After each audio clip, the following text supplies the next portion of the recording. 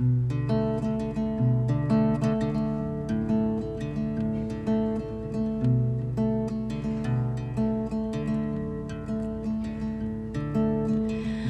called it love, but let's be real.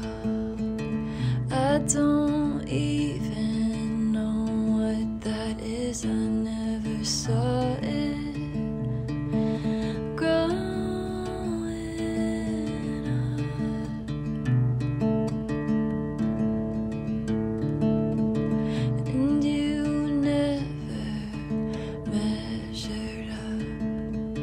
to the imaginary